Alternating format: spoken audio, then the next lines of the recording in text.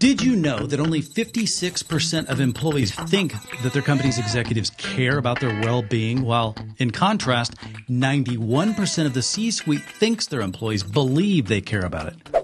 That's a big disconnect. Employee experience is directly tied to digital experience. Now, I remember being excited for one of my first big company jobs, MCI WorldCom. Hmm? IT issued company laptops, and eventually we got the latest BlackBerry phones with physical keyboards and software tools well before software as a service was a, was a thing. Well, over the years, new workflows kept getting rolled out, supported by better end user hardware, but with the same frustrations. Isolated tool sets forcing us to repeat basic information that would slow things down, and all of us hoarding digital assets for fear of not finding them again. Well, in my 20 years at Cisco, I navigated multiple tool evolutions and interacted with people I never met, including in HR and IT. Never physically met. Well, we've reached a critical juncture. We're drowning in innovation, clinging to our outdated org charts. Your next big leap forward will not come from new hardware or software, but from a deliberate data based awareness and execution. Today's show is about Worldwide Technology's research report, Digital Workspace Priorities for 2024. Now, in here, it argues that a world class employee experience is critical for organizational success. Today's talent demands technology that matches their personal experience. No professional willingly clocks into a digital time capsule forced to work with yesterday's tools. Well, there are five research priorities that we're going to touch on here. Number one, many organizations who focus on customer experience or CX improvements are neglecting employees. Now, smart organizations are optimizing employee experience to enhance customer experience. Priority two is automation and AI are not new in this space, but they do lack effective planning and acceptance. You can't simply slather them across your organization and expect some kind of success. A better digital experience won't appear from a mess of redundant technologies led by separate departments. The hybrid work debates continue, but work doesn't wait. Creating a location independent digital employee experience is key. We need smart spaces and integrated tool sets that encourage work anywhere. And then this last priority emphasizes the power of an inclusive culture. Culture will keep these priorities glued together. Now, steering it, guiding that culture, that's a bit more of an art. Well, today we have two digital workspace experts with us David Rosenblatt, Distinguished Solutions Architect, and Jared Brummer, Global Technical Solutions Architect. Both of these guys are leaders within worldwide technology. And Our conversation centers on priority two, introducing AI and automation into the workforce. We're going to start with a little disambiguation on the terminology. This is one topic where I keep thinking we don't have enough letters to account for all the similar sounding acronyms. But understanding the difference between digital employee experience and mere monitoring, that's crucial. It's the shift from Big Brother to Big Benefits, unlocking actionable insights that boost satisfaction and productivity. Now, while this initiative may seem overwhelming at first, we're going to focus on two key innovations dynamic persona modeling and DEM scoring. These tools help define excellence for specific personas, making your digital employee monitoring scoring more actionable. Additionally, we're going to explore the digital employee experience maturity curve, a actionable tool applicable across various topics because knowing where to go starts with knowing where you are. By breaking down these concepts, we can simplify the path to enhancing digital experiences. Two questions to kick things off. Can you quantify the impact of your digital tools on your employee productivity? Have you identified clear, actionable steps to enhance your employees' digital work environment? Well, no worries. We're going to identify the digital friction and get rid of it. The idea is simple, the execution, not so much. Well, today's guests have spent years helping others pull this off, and now they're going to help us do the same. Today's show explores how technology, AI ops, and automation can transform the employee experience. Welcome to Worldwide Technology Presents Research, insights powered by the Advanced Technology Center. WWT presents Research. All right, guys. Well, I've been looking forward to this. This is a, I feel like it's an acronym challenged discussion because I feel like we were limited to like four or five letters and, and how many combinations can we prove with those? But before we get into that detail, let's introduce yourselves for anyone that's not familiar with you. David, do you mind introducing yourself?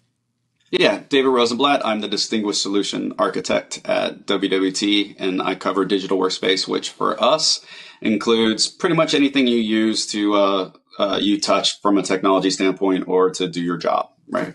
Did you say you're the specialist or a specialist? I would say the. Okay. Good. I, thought, I didn't expect anything less. I was just curious. We'll, we'll see if Jared has any reaction to that. Jared, do you mind telling us what you do? I, I was going to say, yeah, he made my, my introduction really easy. So Jared Bremer, I'm the global technical solutions architect uh, for our end user computing part of our digital workspace practice. And usually my balance is, is to actually bring the reality to what Dave is uh, talking about. Oh, I love is, that contrast. So you're saying David has a habit of promising things that you have to figure out how to deliver on?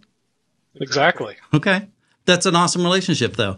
Um, I think that's going to work well. Well, getting back to the acronyms, David, let's have you uh, maybe simplify us, uh, simplify this for us just a little bit. But so we got DEX, Digital Employee Experience, DEM, which is more monitoring, I guess. And how do these relate to each other? Where does it fit in with EX and CX? What's important to understand for our discussion? So I kind of, if you kind of look at it uh, almost like a, a, funnel, right? From the uh, the at the the tallest or widest part of it is employee experience and customer experiences themselves, right? Which is you know from an employee experience perspective, it is the sum of uh, you know everything that you interact with from a um, as, as you work, everything from HR policies and uh, how enabled you are and what your experience is from your, you know, pre-joiner, join as you move change in the organization all the way till when you leave. And if you look at below that DEX being the digital employee experience, which is the sum of all your interactions, you know, the aggregate of all your interactions that you have within the technology, as well as a layer that can inform um, with different quantitative and qualitative information into the overarching employee experience. So it's kind of that digital kind of translation of the overarching employee experience pieces. And then DEM itself are the employee uh, monitoring tools and other things are, are the specific tooling and capabilities that we have that allow us to do that quantitative and qualitative kind of measurement. So it's almost like that tooling and the other informational insights that you have. So as, as you kind of kind of narrow down into that funnel, those are kind of like the relationship they have with there. And to answer the question about the EX and CX, th- those to us have always been two sides of the same coin, right? One of the easiest ways to kind of define that is, is the easiest way to, to create customer frustration or friction is to have employee friction. And one of the first things employees ever have friction with is technology. You know, the number of times you've called into a call center and someone said, my system's running slow. And now they're frustrated, you're frustrated, and everyone else along there is probably like the easiest kind of example of how like from a technology uh, friction and frustration gets translated to employee friction and frustration, which then translates to uh, customer friction and frustration. Well, I heard you take a breath there, so I'm going to jump in and ask Jared. I'm just messing with you, but Jared, I now that I think he gave a, a, a great explanation, but it's part of your color on this is it true? Uh, because as I was trying to define these, in, in some places, it feels like DEX is considered, when we talk about the digital employee experience, being the more active or action oriented response to the monitoring. So the monitoring is almost a subset, or, or it becomes a subset that's more inclusive and actionable, perhaps, than just thinking about digital monitoring. It's like, what can I take action on? Is that a way to distinguish these, or am I making up stuff? So you're you're you're right on track. Is really for DEM is really what we see it as is it's taking that what goes beyond the monitoring and just letting it be there as reactionary is how can we make this more proactive side is how can we actually take this data and be starting to get ahead of things? How can we actually get ahead of a user calling in? You know can we actually say that we observe that something is happening that's impacting their experience and do the little things of whether or not it's a pop-up that says hey we saw that you've had this problem but then go to that next layer and actually start automating and letting that user be empowered to take those automations saying, we saw that you had something that impacted your experience. We know how to fix this. Would you like to click one of these or even go through and do things of, would you like us to open a ticket for you and attach all the relevant information? so it makes IT happier. It takes a user that would probably just be a dissatisfied user that, you know, usually are single digits who actually report a problem, uh, into their IT department. You start getting more of that data.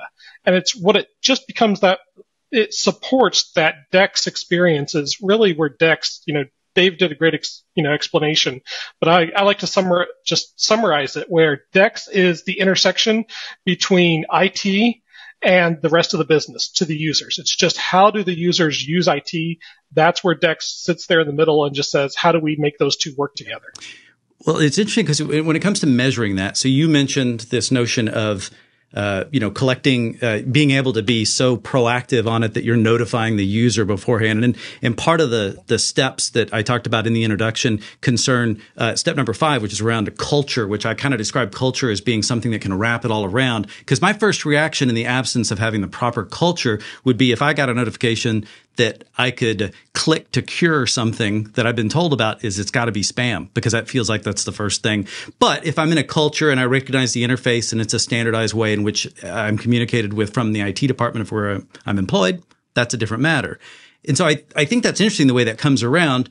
But then I always think, okay, well, this is easier said than done. And David, you mentioned quantification. I'm going to put this, um, I think it's a DEM score. And this, I believe this is a concept that you've been pioneering in terms of how to visualize this. But there's, there's elements that WWT has kind of refined over time to say this is a numerical value that you could place on what? How, how do you explain how to quantify so, and then operate on that? Very often I, I refer to DEX or DEM as being kind of your GPA for your digital transformation. How good are you doing in an aggregate in order to um, really deliver the tools and capabilities that employees need in their environment to do their job? And and you pointed to the culture, et cetera. If you take kind of a, a culture of employee first or you know, uh, if you look at it from an IT perspective as the duty of IT to provide the tools and capabilities that people need to do their job better, then it, it, you're looking to see like, well, how well am I servicing these different groups of employees? And very often with those, we, we look at it kind of as like the, the usual suspects that are contained within like a DEX score or DEM score of like things that we usually look at. And starting off closest to the employee is like employee sentiment. How do I feel about the tools and capabilities? Am I enabled to do my job?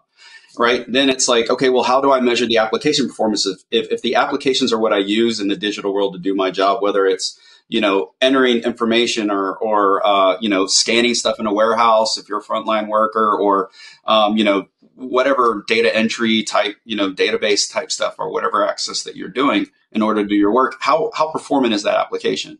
How well is the device I'm using working, right? You know, am I running into issues all the way across it? Obviously connectivity. Everybody loves to, um, blame the network, right? And half the half the people that we see deploy DEM and DEX tools that come from a network background are looking for mean time to innocence. How quickly can it not be my fault, right? Um, the security and security friction, right? You know, how many times am I having to log in? What are all the multi factors? All those other things associated to it, as well as am I meeting the good um, uh, situation and other stuff and meeting uh, all the security constraints that I need to. And then I do, and then at, at, the end of it, similar to what Jared's saying around the automation and other pieces, how's the operation support when something is broken or something is not performing or working? How can I resolve it?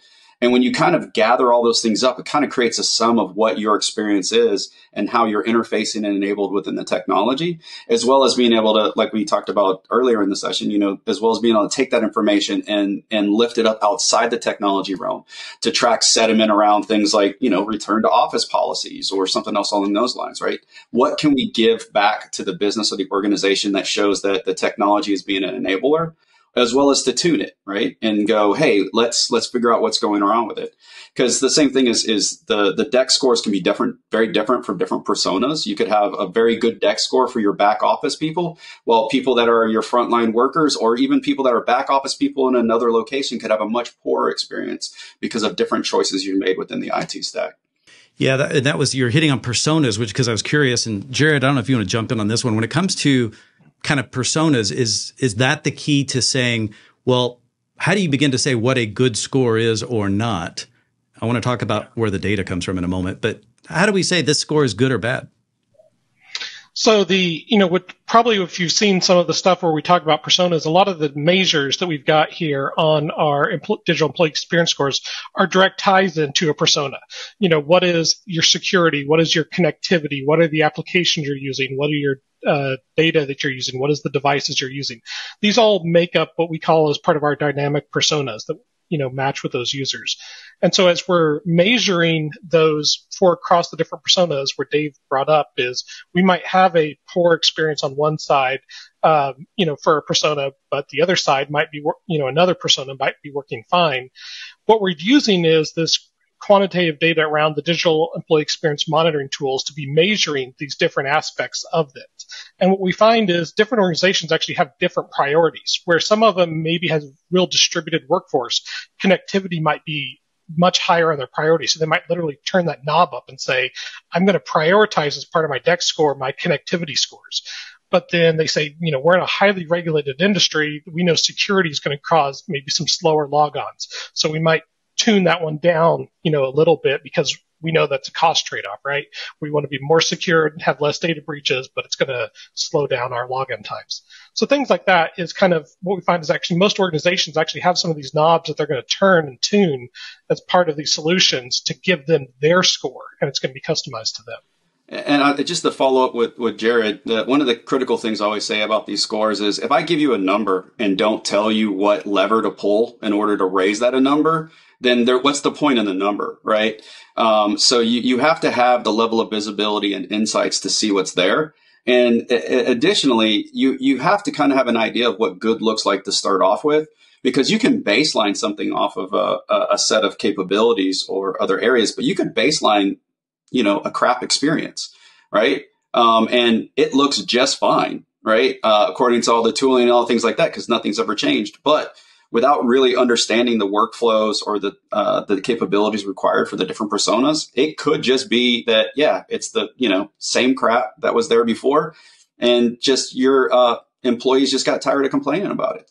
I don't know if this is really going anywhere, but feel free to use it if it does. But you mentioned the the kind of the the metaphor of the GPA being a guide. Well, now I think about if uh, setting your wrong uh, baseline is kind of like having a bell curve that's set, you know, ridiculously. um, because it, yeah, you know, yeah. If, if, if passing is a forty-five, right, um, then uh, it, you know uh, no one mastered any of the concepts, right? But uh, but the guy with a, a uh, a 52, right, has a has an A, right? Yeah, no, yes, that's, that's valid. I like that one. I'll, I'll steal it. Please do. You can improve upon it too, please. Because I've, I, have one thing I've learned from you is if I walk into my class and I see that, oh, crud, David's in this class, and I'm turning right back around because that's going to mess up my curve. But, um, and I need no, that curve. It, it's a great example because that's something we actually see out of a lot of indus, you know, interest as we're looking at DEM tools is don't just tell me how I'm doing compared to myself, but tell me how I'm doing against my industry peers. And a lot of that is that exact reason is the, a lot of the baselining is if we baseline at a poor experience, yes, you can tell me what I can maybe do to improve it, but I don't know how bad I'm doing until I compare it against, you know, some, some other benchmark. Yeah. Cause how many times I've gotten something and I go, wait, is that good? You know, and, and then now what? Uh, am, are you just gaslighting me? You know, is this just to keep me unstable? It was the it's the is my AI or my my Dex tool smarter than a fifth grader, right? You know, kind of model set, right? You know, is is is it going to be performant enough to do the job that I need it to, right? Or is it, you know, you know? Well, let's talk about how these things are measured because I feel like I, I can see some things when we talk about security and connectivity. There's some things we've been measuring and monitoring uh, to various degrees for years, and most organizations probably have some degree of that in there.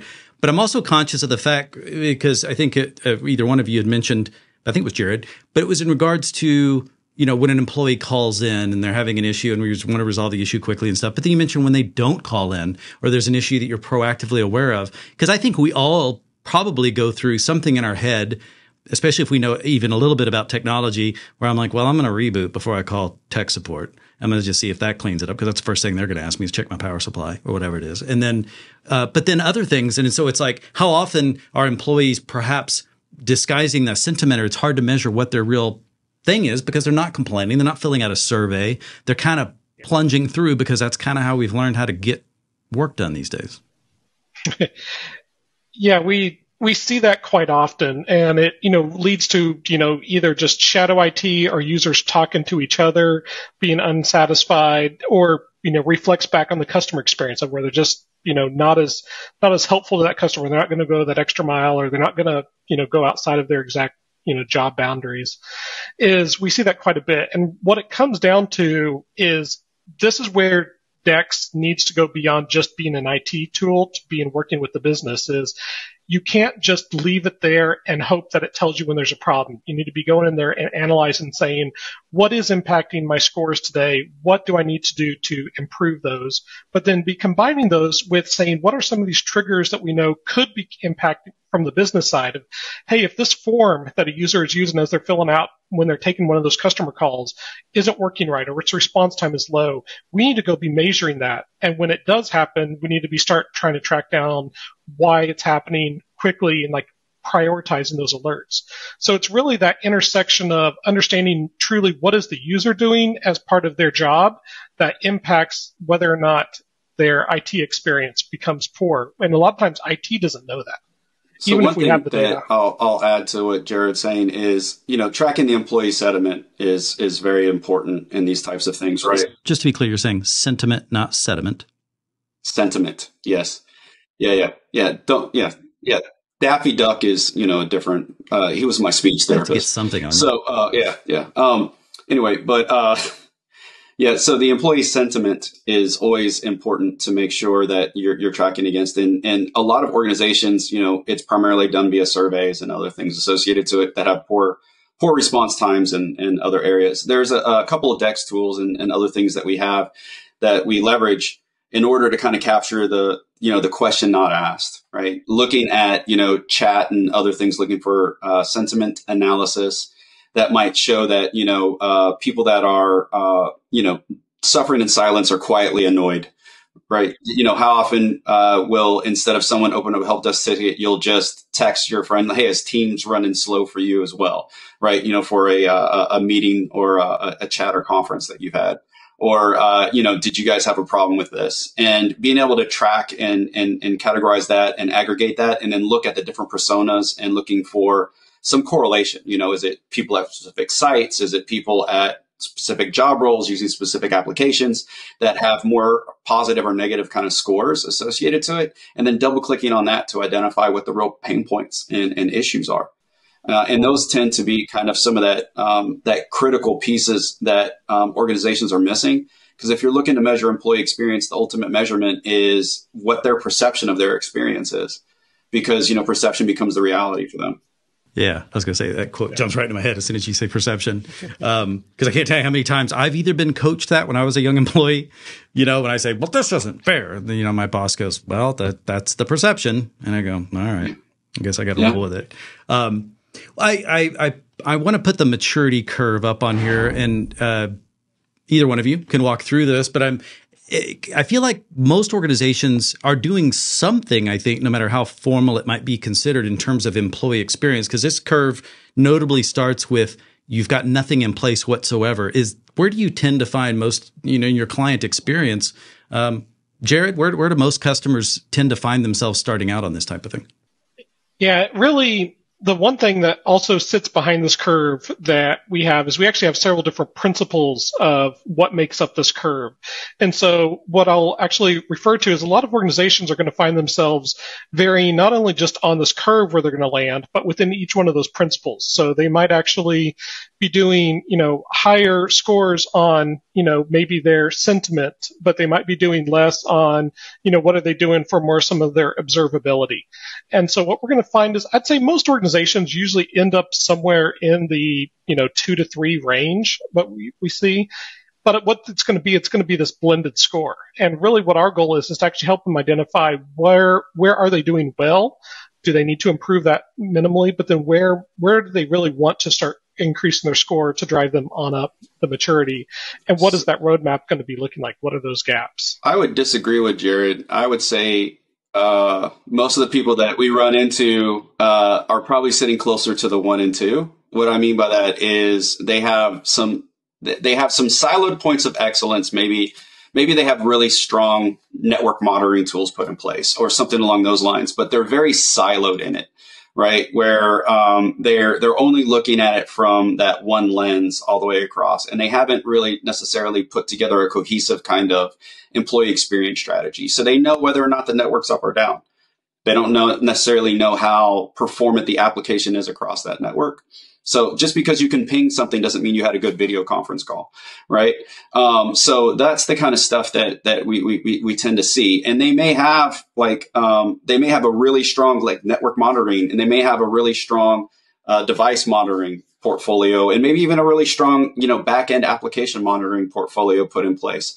but yet there's no correlation that's been done between them, right? And, and when you look at kind of the bottom of this maturity curve, right, where we talk about you know, no strategy and, and like DEX maturity is kind of nothing. We usually we see people move into like observability where they're observing, but they're observing in individual silos. And then we try to move them up in that chain where they've established pos- processes in other places where they have correlation between the different stacks. So now they can see when somebody has an issue with, you know, Microsoft Teams or WebEx, right? That, oh, well, there was a network outage that was associated here. Or, you know, hey, the application itself was having an issue back in the cloud app. Or, you know what, your memory and CPU was at 10,000 different, you know, um, you know, 10,000% utilization or whatever along those lines, right? And then being able to mature that out to be able to generate those types of insights. Hey, certain machines that we have tend to, you know, their, their CPU keeps going up crazily uh, every time we launch certain types of meetings and things. Oh, well, let's let's look into what that is, and eventually from there figure out how to to automate those repetitive fixes and other stuff. You know, oh look, uh, X, Y, and Z happens. Let's clear the cache on that application, right? You know, and automate that to kind of uh, alleviate those sets of experiences.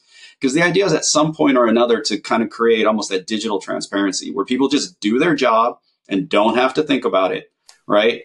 Um, and uh, you know, it goes back to you know uh, I always say that that we failed a little bit in our employee experiences when you have to think too much to do your to, on the the just the little all the little activities you have to do to your do your job instead of doing the job itself. Yeah.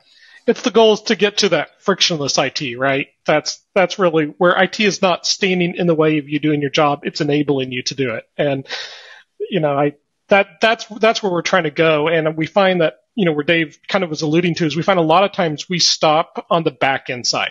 We stop at what makes IT's life easier and not what makes our users' life easier. But I feel like the big thing yeah. here with this curve that I really like is the distinction between kind of the first half and the second half. Because that third, and you said this, David, but I think it's important to highlight, is it, I think it's relatively straightforward and a lot of people are in the ones and the twos, but getting to the three requires that cross, crossing silos and, and getting past that and dealing with data and having to have knowledge. So IT suddenly has to understand how does that business work? How does that group of employees need, what do they need to function and, you know, specifically to get their job done, not from a pure data and tool standpoint, but from an out, outcome desired, I guess, standpoint. Well, yeah, one of the things that we, we always look at from this perspective is uh, avoiding avoiding adding to tool sprawl, right? Uh, what we've seen over and over again in people's environments is they may have all the tools put in place to gather every point of data necessary for them to make better, to drive insights and make better decisions to deliver a better set of experiences to their employees, but they haven't done the correlation. They haven't built out you know dashboards that are meaningful to the line of business they haven't you know aggregated these things together to see you know get a holistic view on what the set of experiences are right everybody has been kind of myopically focused on their own sphere of, of influence and, and control. And, and, and nothing happens in isolation in any of the work that we do, right? You know, I mean, there's, there's no technology pillar that sits completely by itself. And uh, so for the IT people, as well as the, you know, whether it's HR or line of business owners or anything else along those lines, being able to give them actionable insights and derive insights out of these toolings is important. But I'd never advocate for let's throw another tool out there because we, we tend to be destructive of ourselves, right? At that point, you've thrown so many tools on so many pieces of endpoint and so much shelfware out there that uh, you, are starting to have to buy more memory for machines just so they can run all the IT tooling before anybody even starts doing their work. You know, how many how many tools do you really need to tell you what applications are installed on the the machine? Just because each one's going to a different you know, either IT work group or compliance group or something else along those lines. In an ideal world, I always say that, you know, we would get to two tools, one tool to do all the work and the other tool to audit the first tool to make sure it did all the work, you know? Do you feel like it, it, there, there was a time when we would say historically, as, as we were growing up with technology, it was easy in an organization to go, okay, IT handles technology in a kind of a loose way. But it feels like technology has become so omnipresent with every single business group that everybody is potentially purchasing tools and capabilities, much of which is going to ride on the network provided by IT, whether IT is proactively aware of it or not. How often do you guys run into clients that don't realize that they've got other groups maybe using some of the same tools or okay, yeah, that happens. uh, yeah. Uh, I think my favorite is when a customer tells me they know everything that's running on their network. Oh, that's And always a great opening we- gambit. We, Yeah. we, we Let's prove to that. them it's wrong. Yeah. I mean, if, if you wanted a guaranteed win for a Vegas bet, that one's it right there is there always a shadow IT. There, there always is something out there that they're not using. And it comes back to of where IT doesn't, you know, they they get so focused on themselves and not on the users. So what happens is the users go, you're not meeting my needs. I'm going to do what I need to do to do my job, whether or not I do it with, with or without you. And there's the, I Which don't has really been the fun them. part for most of us in this technology environment. I pity the IT department trying to get control of it, but hey, man, Shadow IT has been a lot of Well, I fun for the individual. the, the the bit with the you know governance is important right and and all that. But if again uh, if if you make it easier for an end user to to use the tools and the processes that you want them to than to do something else they're going to use it. I mean uh, it tends to be people are like water you know path of least resistance right? So if if you can if if you're hyper responsive to your uh, organizational needs and other things then you can diminish some of those those areas associated to it, right? I mean, you're always going to have people that have a, a core preference that came from somewhere else and demand to, to use a tool they use somewhere else, right? Because they understand that workflow. Um, but, you know, you, you can minimize if you have the right set of communication capabilities, as well as if, even if you're just, you know, similar to the dashboard and the other stuff, you can show the line of business that you're generally, you're incrementally improving their sense of experiences and you can bubble up what those kind of things are, then it can build a, enough goodwill for you to be kind of uh, understood or brought in. So instead of uh, IT being the no department, right, that doesn't care or doesn't understand what I do, uh, so that you know they, you know, I, I'm just trying to do something to make my job easier, right, kind of thing. Model from the, the line of business being there, um, you're able to do that. But um, conversely, we also sometimes have to to convince IT that these tooling and these capabilities, while they have a very tangible benefit for you, right? Like automating and being a force multiplier for the IT personnel.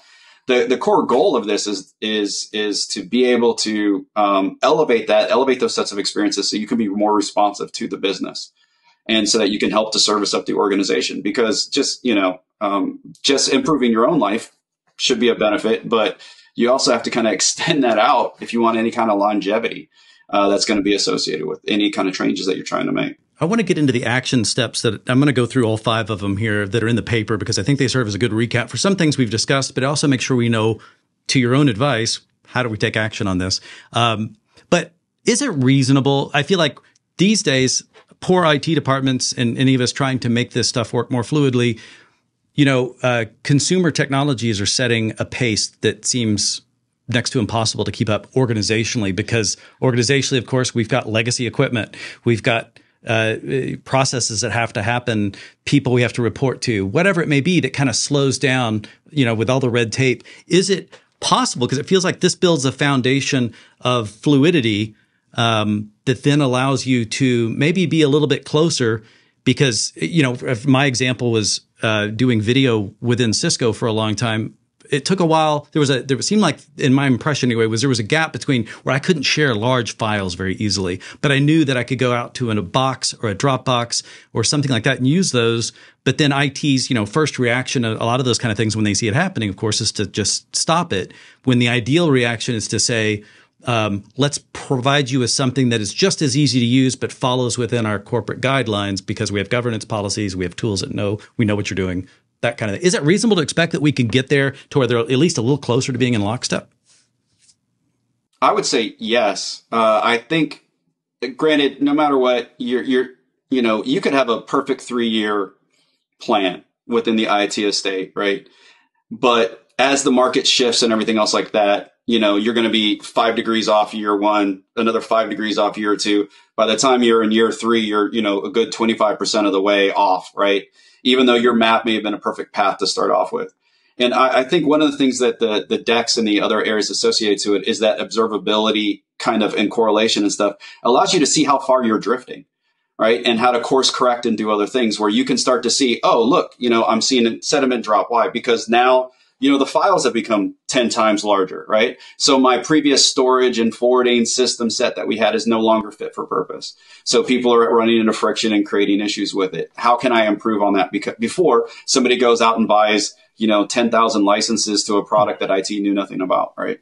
Yeah. Um, that that kind of stuff uh, becomes a little bit easier, I think, to see with a good kind of uh, DEX set of tooling and capabilities put in place, as long as you're, you know, as long as the, the spirit of it, not just the because it's not one and done and tool put in, right? It, there's a lot of like core, like active monitoring and processes that have to be put in place in order to close that feedback loop to help kind of inform what architecture is and everything else that needs to be and what the next generation of activities needs to be. Because if you don't close the loop on it, I mean, all you're you're dexing in the rear view mirror instead of looking out the windshield.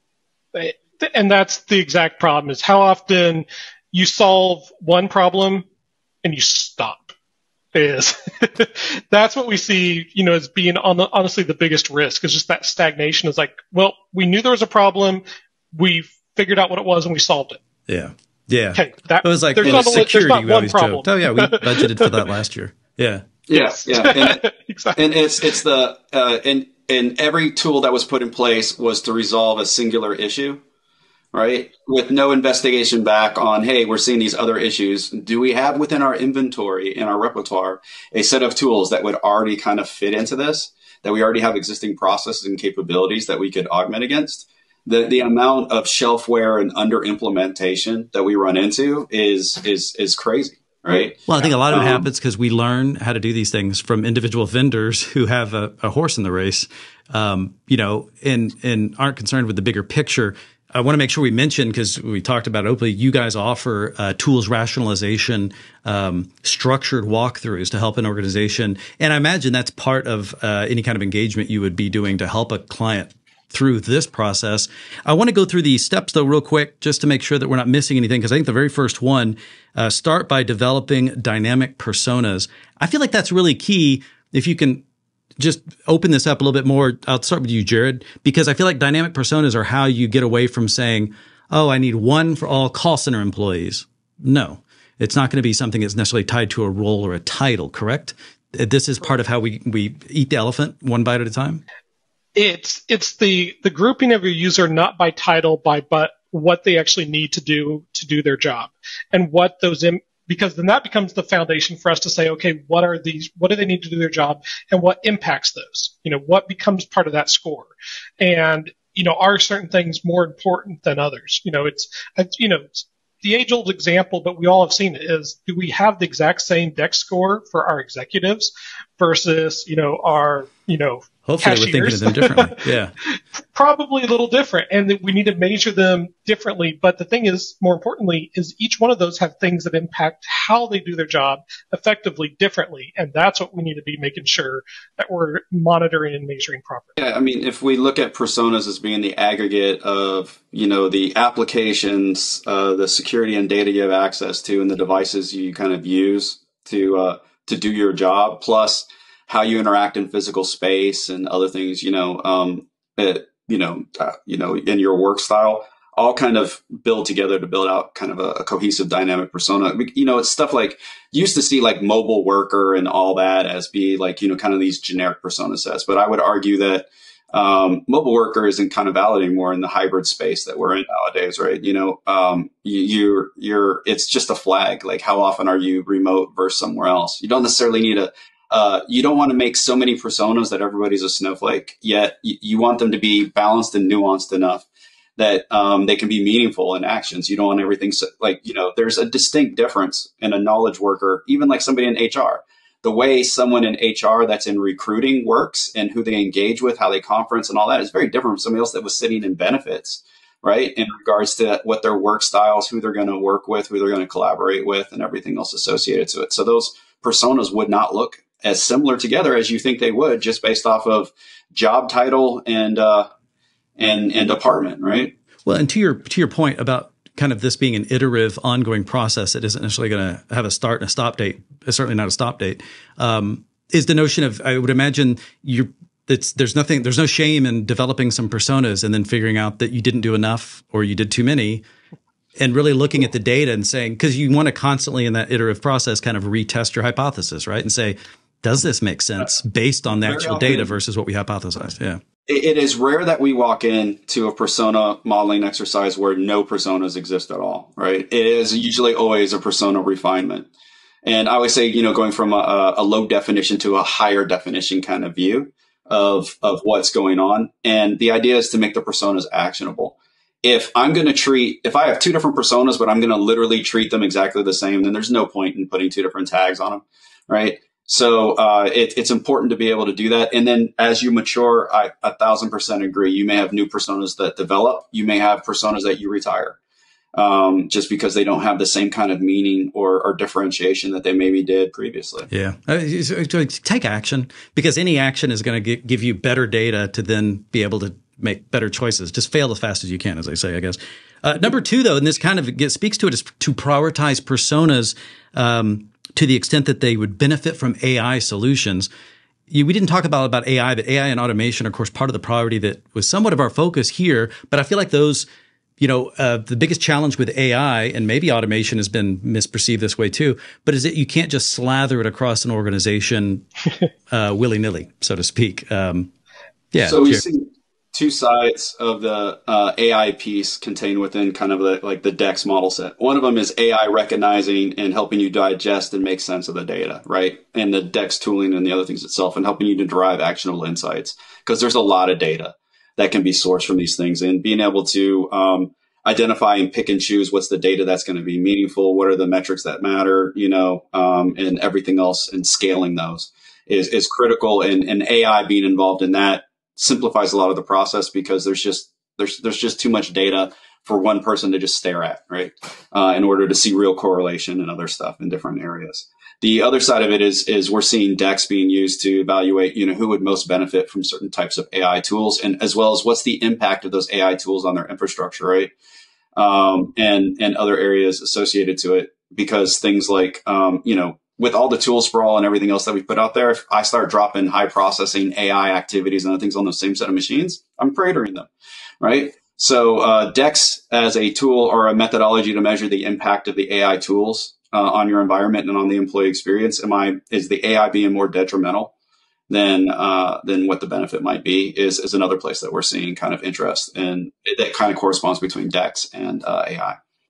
Jared, number three says identify points of digital friction. We've mentioned the and that feels very outcome oriented because it's not saying identify places where websites fail or databases aren't responding or or failovers didn't happen the way they're supposed to. What is it meant by digital friction? Yeah, and this is where you've heard me say several times is, you know, it's really taken the perspective rather from the IT side, but from the user side, is seeing what part of their interactions with IT in their daily life, what when they're doing their job that is causing things to not be optimized, causing them to slow them down, causing them to get frustrated with it, causing at the end of the day impact on our customers is going through and identifying what parts of those IT that is causing those and then you know, kind of marrying that then with the data that we're seeing or on the, you know, digital employee experience side and also then tying that then what's going to be next is for the automations. Could we actually start resolving things, things without even getting a call to IT? Could we either re- identify it and fix it ourselves? Could we give it where we empower the user to actually say, Hey, you know, do you mind if I take you offline for two minutes while I go fix this, you know, type things, getting beyond the having for them to you know, open a ticket, pick up the phone, open a, you know, do a chat and get to where we actually observe it. We know that there's this impact to the business, fixing it. And then the interesting thing we didn't talk about too much is reporting up what we're doing is being able to actually go back and say, Hey, you know what? I took away something that was impacting, you know, our retail employees from being able to, you know, process a transaction, you know, couldn't cl- complete a sale, you know, 20 times a day. Well, what was that dollar figure that suddenly we've reduced to zero? I love the whole idea of just quantifying success and then so that you know and can say, look, I we made these changes to help this group of people or this person, whatever it may be, to go from this point to this point, and suddenly now you've got data to to talk that really helps you because it's really I feel like I, I can see lots of points in here where this this does help you do the thing that seems very hard for many IT departments, which is to become a legitimate extension of the business, saying how do we work in lockstep to help advance each other's goals because we both need each other, um, kind of thing. And, and I think you're hitting on the kind of the rest of the points. I'll just summarize through them real quick. Number four is look for opportunities to automate. Um, the point I want to make there, you guys, we've talked about this before also on other shows but you have to be very uh, deliberate about that automation. And I think AI is falling into the same bucket where um, automating a bad process is simply going to get you faster to something you don't want. Yeah, I, I very often say, yeah, automation doesn't fix a broken process, just shows a broken process faster. And I think you hit on the head on, you know, when we were talking about the maturity curve, right? And we talked about like zero and one and setting the foundation and establishing observability. We don't move past that without like AI ops and other areas and good AI ops process there because you can't build out uh, without that AI ops kind of uh, enabler. You can't get into correlation. You can't drive the actionable insights and you can't eventually get to the automation of what makes sense because yeah, you know, automating lemmings off a cliff does no one any good. And that gets right back to the I, the importance of, of kind of an organization wide communication because more than likely, let's say you're embarking on this DEX uh, initiative, but there probably is someone that maybe has been doing more in AI ops. And if you guys aren't coordinating, then you're missing an easy route to some important data that could become a component of what you're trying to achieve versus you having, or maybe wasting your time and money chasing after it on your own without realizing it was already there to begin with. I know it's always easier said than done for people to communicate because I'm the I'm I'm the worst at about I'll sit there and beat my head against my computer for hours before I'll ask for help um, because I kind of feel like I can't even ask the question intelligently yet. You know, I just need to build up to the point of even feeling like I'm not a dummy with the question. Um, but the last point, move from reactive to predictive. I like this contrast of not saying reactive to proactive, but this is everything that you both have been saying. But Jared, you most lately is this notion of that's the big goal, I assume, which is how do we, how do we, we have the ability today, we all can see it as technologists to answer a lot of problems before people bring them to our attention. But are we actually doing that? Do we have a pragmatic and, and deliberate way of maybe setting ourselves up to do that? Um, yeah.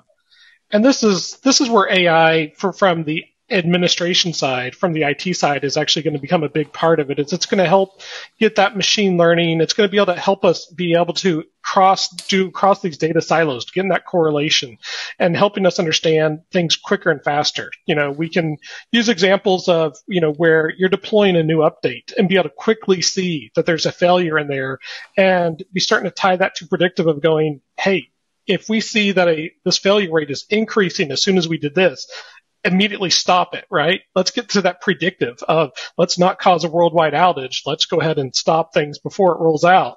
I mean, it can be our own world. It could be the world that, you know, in general. It's, it's the idea is we want to be able to start identifying these things faster. And AI is going to be a big part of that for us is it can, you know, once it's got the proper data sets, the proper data models, and, you know, what Dave was bringing up is not a bad data. We want, you know, good. Yeah, it needs good context. Yeah. Correct. Then we can, we can get to that.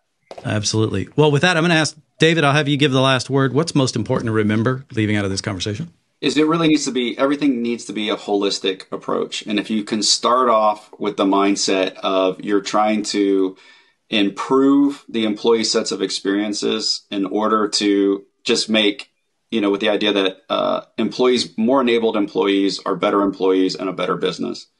And if you start off with that kind of mindset and look at holistically what can we do in order to kind of generate that better set of experiences and reduce their friction, then that's the critical piece. And everything else kind of derives from that. Because if you look at it from that perspective, you know, how do I improve your experiences? Then it tells you what you should be measuring. And then that tells you how to be measuring it. And then that tells you how to correlate the information across the board. And then that tells you what kind of insights you're looking for and what kind of automation and fixes you need to resolve. Yeah. Absolutely. Well, David, thank you so much. Thank you, Robb. Appreciate it. Jared, you as well. Thank you. It was great to be here. Why is it important to remove digital friction? Well, here are some success metrics to consider. You can slash manual IT tickets through automation and self service, minimize employee downtime from IT issues, speed up new hire onboarding, or as Rosenblatt would say, improve your mean time to productivity. I like that. And one that I want to make sure that we cover Create a source of truth that everyone can rally around. A live dashboard, your window into the entire workforce. You see, a DEX dashboard isn't just another IT tool, it's a communication tool that maps the entire employee journey beyond simply just looking at IT oriented things. By fusing hard data with real feedback, you're going to see the direct link between employee experience, productivity, and customer satisfaction.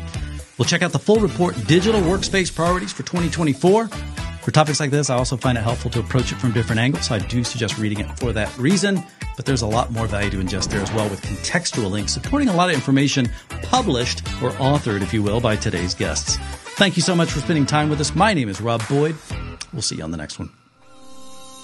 This episode is brought to you by Riverbed, the leader in unified observability. Unlocking the full potential of your digital experience has never been more accessible with Riverbed's AI powered observability solutions and industry leading Riverbed acceleration.